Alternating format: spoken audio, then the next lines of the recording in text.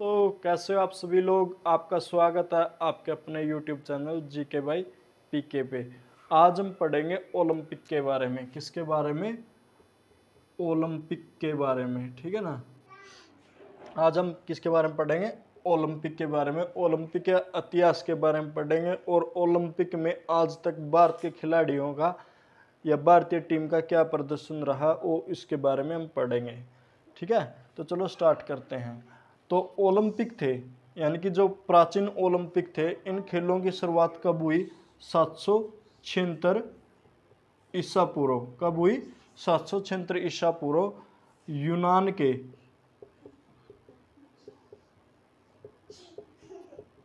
Olympia शहर में, ठीक है? यूनान के ओलंपिया। ओलंपिया शहर में इनकी शुरुआत हुई। ठीक है ना? यानी कि इन खेलों में क्या क्या होता था? जैसे गुड़ दौड़, रथ दौड़, ये इन खेलों में मुख्य तौर पे होते थे। और ये खेल है ना, हर चार साल बाद होते थे। लेकिन तीन सौ चौरानवे ईसा पूर्व, तीन सौ चौरानवे ईसा पूर्व, ठीक है ना? रोम के राजा, रोम के राजा ने इन खेलों पे प्रतिबंध लगा दिया। उनका मानना था कि ये खेल मूर्ति पूजा को बढ़ावा देते हैं। लेकिन हम बात करें आधुनिक ओलंपिक। की आधुनिक ओलंपिक की शुरुआत कब होती है? अठारह सौ छियानवे में होती है। और इन खेलों की शुरुआत का श्रेय किसको जाता है? एक फ्रांस का खेल प्रेमी होते थे, बेरन पियर डी कुबर्टिन। यानी कि बेरन पियर डी कुबर्टिन एक फ्रांस के खेल प्रेमी होते थे। उनके प्रयासों से दोबारा से ओलंपिक खेलों की शुरुआत होती है कब? अठारह सौ छियानवे में। और ये खेल कहाँ होते हैं? ये यूनान के, ये यूनान के एथेंस शहर में होते हैं। किस शहर में होते हैं? एथेंस शहर में होते हैं। उसके हर चार साल बाद मतलब ये ओलंपिक होते रहे हैं। ठीक है ना? उसके बाद अठारह सौ छियानवे के बाद कब होते हैं? 1900 में होते हैं। और ये खेल कहाँ पे होते हैं? फ्रांस की राजधानी पेरिस में होते हैं। उसके बाद 1904 में होते हैं। 1904 में ये कहाँ पे होते हैं? सेंट लुइस, यूएसए में होते हैं। उसके बाद 1908 में होते हैं।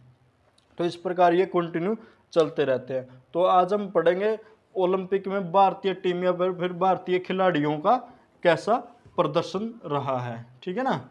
तो सबसे पहले 1900 में सबसे पहले जो 1900 में जो फ्रांस में ओलंपिक होते हैं, फ्रांस की राजधानी ओलंपिक में होते हैं, उसमें भारत की तरफ़ से एक एंग्लो इंडियन, यानी कि इंग्लैंड के मूल के निवासी Norman Norman Pritchard Norman Pritchard नामक एंग्लो इंडियन व्यक्ति ने भाग लिया भारत की तरफ़ से 1900 के ओलंपिक में और इन्होंने 200 मीटर और 200 मीटर बाधा रेस में रजत पदक हासिल किया, यानी कि दो रजत पदक हासिल किए, ठीक है ना? उसके बाद भारत की टीम ने 1920 में हुए ओलंपिक में अपनी एक टीम भेजी, यानी कि पाँच सदस्यीय एक टीम भेजी, जिसमें दो कुश्ती के खिलाड़ी थे और दो एथलेटिक्स थे और एक उनका प्रबंधक था, ठीक है? उसके बाद जो ओलंपिक हुए 1928 हॉलैंड या फिर नीदरलैंड में ओलंपिक हुए उसमें सबसे पहले भारत की हॉकी टीम गई और इस इस ओलंपिक में भारत की हॉकी टीम ने क्या जीता? गोल्ड मेडल जीता। ठीक है ना? नीदरलैंड को तीन ज़ीरो से हरा के। उसके बाद 1932 में ओलंपिक हुए लॉन्स एंजल, यूएसए में और इसमें भी भारत की हॉकी टीम ने क्या जीता? गोल्ड मेडल जीता। उसके बाद 1936 में ओलंपिक हुए बर्लिन, जर्मनी में। और इसमें भी भारत की हॉकी टीम ने क्या जीता? गोल्ड मेडल जीता। और इस प्रकार भारत की हॉकी टीम ने विश्व कीर्तिमान स्थापित कर दिया लगातार तीन गोल्ड मेडल जीतने का। उसके बाद 1940 और 1944 के ओलंपिक है, वो द्वितीय विश्व युद्ध के कारण हो नहीं पाए। जो ये 1940 के ओलंपिक थे, ये जापान में होने थे और 1944 के ओलंपिक लंदन में होने थे, लेकिन द्वितीय विश्व युद्ध के कारण ये ओलंपिक हो नहीं पाए। ठीक है? फिर बात करते हैं 1948 की। 1948 में ओलंपिक हुए लंदन में। कहाँ हुए? लंदन में हुए और इस ओलंपिक में भी भारत की हॉकी टीम ने क्या जीता? गोल्ड मेडल जीता। उसके बाद ओलंपिक हुए उन्नीस सौ बावन में और इन ओलंपिक में भी भारत की हॉकी टीम ने क्या जीता? गोल्ड जीता। और उन्नीस सौ बावन के जो ओलंपिक हुए, इनमें भारत के एक कुश्ती के खिलाड़ी ने क्या जीता? ब्रॉन्ज मेडल जीता। क्या जीता? ब्रॉन्ज मेडल जीता। उसके बाद 1956 में जो ओलंपिक हुए, इसमें भी भारत की टीम ने क्या जीता? गोल्ड मेडल जीता। और इस प्रकार भारत की हॉकी टीम ने लगातार छः गोल्ड मेडल जीतने का विश्व कीर्तिमान स्थापित कर दिया। कुछ भारत के बुद्धिजीवी बोलते हैं कि भारत का राष्ट्रीय खेल हॉकी ना होके क्रिकेट होना चाहिए। वो ऐसा इसलिए बोलते हैं क्योंकि इस टाइम भारत की टीम, भारत की क्रिकेट टीम विश्व की सर्वश्रेष्ठ टीम है। मैं कहना चाहता हूँ कि भारत का राष्ट्रीय खेल हॉकी ही होना चाहिए, क्योंकि आज भारत की क्रिकेट टीम के पास हर तरह की सुविधा, हर तरह की फैसिलिटी है। यहाँ तक कि भारत के क्रिकेट खिलाड़ियों का पीने का पानी विदेश से आता है और एक वो टीम थी हॉकी टीम, जो 1928 में जब वो मैदान में खेलने उतरी तो वो नंगे पाँव उतरी थी। 1932 के ओलंपिक में भाग लेने के लिए उनके पास पैसे नहीं थे। उन्होंने चंदा इकट्ठा किया, प्रदर्शनी मैच खेल खेल के। उन्होंने राजघरानों से पैसा लिया। कुछ ऐसे भी खिलाड़ी थे जिन्होंने कर्जा लेकर ओलंपिक में भाग लिया और 1936 में जो ओलंपिक हुए जर्मनी में, उनमें वो बड़ी मुश्किल से जा पाए। और इतनी कठिनाइयों का सामना करते हुए उन्होंने लगातार तीन और फिर लगातार तीन, यानी कि टोटल लगातार छः गोल्ड मेडल हासिल किए। और उस समय तो भारत एक गुलाम देश था, यानी कि वो अपनी तरफ़ से कुछ भी स्वतंत्र नहीं थे, कुछ भी करने के लिए स्वतंत्र नहीं थे। तो इसलिए मैं कहता हूँ, इतनी कठिनाई परिस्थितियों का सामना करते हुए भी जो टीम यानी कि जो खेल मतलब लगातार छः गोल्ड मेडल जीत सकती है तो उससे महान कुछ नहीं हो सकता। इसलिए भारत का राष्ट्रीय खेल हॉकी ही होना चाहिए। उसके बाद ओलंपिक हुए 1960 में। ओलंपिक ये, ओलंपिक हुए रोम में। कहाँ पे हुए? रोम में। ठीक है ना? इन ओलंपिक में भारत की हॉकी टीम ने सिल्वर मेडल हासिल किया। किस, कौन सा मेडल हासिल किया? सिल्वर। और इन ओलंपिक में भारत के दावक मिल्खा सिंह ने भाग लिया था और फाइनल रेस तक पहुँचने वाले वे पहले दावक थे, लेकिन उन्होंने फाइनल रेस में चौथा स्थान हासिल किया और वह पदक से चूक गए। उसके बाद उन्नीस सौ चौंसठ में जो ओलंपिक होते हैं, उसने, उसमें भारत की हॉकी टीम ने फिर गोल्ड मेडल हासिल किया। इसके बाद ओलंपिक हुए उन्नीस सौ अड़सठ में। कब हुए? उन्नीस सौ अड़सठ में। उन्नीस सौ अड़सठ के ओलंपिक में भारत की हॉकी टीम ने ब्रॉन्ज मेडल हासिल किया। फिर उन्नीस सौ बहत्तर में जो ओलंपिक हुए, इनमें भी भारत की हॉकी टीम ने ब्रॉन्ज मेडल हासिल किया।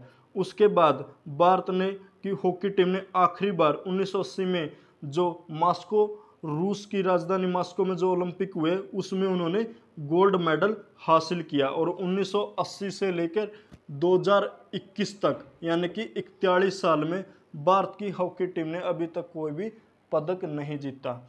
उसके बाद उन्नीस सौ चौरासी में जो ओलंपिक होते हैं, उसमें भारत की पीटी उषा पीटी उषा ने दावक के तौर पर भाग लिया और वो भी फाइनल रेस में चौथे स्थान पर रही और वो भी मतलब दावक के तौर पर या एथलेटिक्स के तौर पर पदक जीतने से चूक गई। उसके बाद उसके बाद उन्नीस में जो ओलंपिक हुए, उस ओलंपिक में भारत की टेनिस की टीम ने क्या जीता? रजत कांस्य पदक जीता। क्या जीता? टेनिस में कांस्य पदक जीता। उसके बाद जो ओलंपिक हुए 2000 में, ये ओलंपिक हुए थे सिडनी में और इस ओलंपिक में भारत की बारतोलन में बारतोलन में कर्णम मलेश्वरी ने मतलब कांस्य पदक जीतकर विश्व कीर्तिमान स्थापित कर दिया। मतलब भारत की तरफ़ से किसी महिला द्वारा जीता गया पहला पदक था। यानी कि कर्णम मलेश्वरी ने बारतोलन में कौन सा पदक जीता? यानी कि कांस्य पदक जीता। और ये कर्णम मलेश्वरी कहाँ के रहने वाली थी? ये आंध्र प्रदेश की रहने वाली थी। उसके बाद 2004 में एथेंस में ओलंपिक होते हैं। क्या कहाँ पे होते हैं? एथेंस में। और इसमें भारत ने निशानेबाजी में एक रजत पदक जीता। क्या जीता एक? रजत पदक। उसके बाद 2008 में ओलंपिक होते हैं चाइना बीजिंग में। और इस ओलंपिक में भारत ने तीन पदक जीते। एक निशानेबाजी में स्वर्ण पदक जीता और एक कुश्ती और एक मुक्केबाजी में दो ब्रॉन्ज मेडल हासिल किए। इसके बाद ओलंपिक हुए 2012 में लंदन में। कहाँ पे हुए? लंदन में और इनमें भारत की टीम ने कुल छः पदक जीते, तीन रजत और तीन कांस्य पदक जीते। उसके बाद 2016 में ओलंपिक हुए रियो डी जनेवा में ब्राज़ील की राजधानी में और इसमें भारत की टीम ने सिर्फ़ दो पदक जीत पाई, एक रजत पदक और एक कांस्य पदक। और जो ये रजत पदक था, ये बैडमिंटन में पीवी संधु ने जीता और एक कांस्य पदक था कुश्ती में साक्षी मलिक द्वारा जीता गया था। ठीक है ना? अभी तक भारत की टीम ने कुल कितने नौ मेडल जीते हैं? गोल्ड मेडल, जिसमें से और आठ अकेले हॉकी के हैं। ठीक है ना? और हॉकी के बाद यदि कोई खेल है जिसमें भारत ने सबसे ज़्यादा पदक जीते हैं, वो कौन सा कुश्ती है। कौन सा कुश्ती है।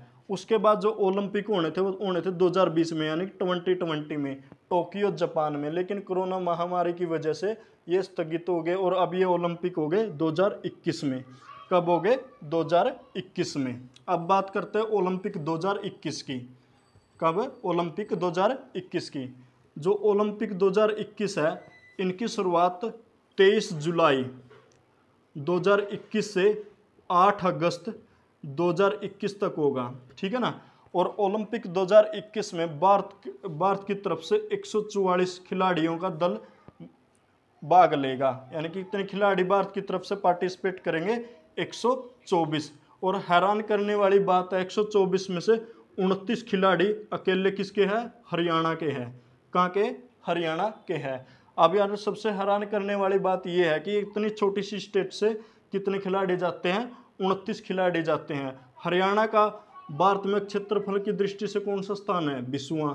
और जनसंख्या की दृष्टि से कौन सा स्थान है? अठारहवां। और सबसे ताजुब करने वाली बात है, इतनी छोटी सी स्टेट से कितने प्लेयर जाते हैं? उनतीस। जिसमें से सोलह महिलाएँ हैं और तेरह पुरुष हैं। और सबसे बड़ी हैरान करने वाली बात क्या है? इन चौबीसों में से छः पहलवान जाएँगे, यानी कि जो कुश्ती के कितने प्लेयर जाएँगे छः पहलवान जाएँगे और छः के छः कहाँ से? हरियाणा से हैं। तो हमारी जो हॉकी जो हमारी स्टेट है स्टेट गवर्नमेंट है, उनको अपनी खेल पॉलिसी में चेंज करना चाहिए या फिर सुधार करना चाहिए ताकि ज़्यादा से ज़्यादा युवा इन खेलों की तरफ़ अट्रैक्ट हो और ज़्यादा से ज़्यादा मेडल जीत के लाए। और आप सभी से, आप सभी से अनुरोध है कि भारत की टीम के लिए दुआ करें, खासकर हॉकी के लिए, जिसने इकतालीस साल से अभी तक कोई पदक नहीं जीता है। ठीक है ना? ताकि वो मेडल जीत के लाए। और इसके बाद जो ओलंपिक होने हैं, कब होंगे? 2024 में, और ये ओलंपिक कहाँ पे हो गए? फ्रांस में हो गए। ठीक है ना? उसके बाद 2028 में जो ओलंपिक हो गए, ये यूएसए में हो गए लॉन्स एंजल में। और भारत की चाह है कि 2032 के ओलंपिक कहाँ पे हो? भारत में हो। सोचने वाली बात है, इतना बड़ा देश में आज तक ओलंपिक का आयोजन नहीं कर पाया। ये भी हमारी नाकामी ही है। तो धन्यवाद दोस्तों, अगली वीडियो में फिर मिलेंगे। जय हिंद, जय भारत।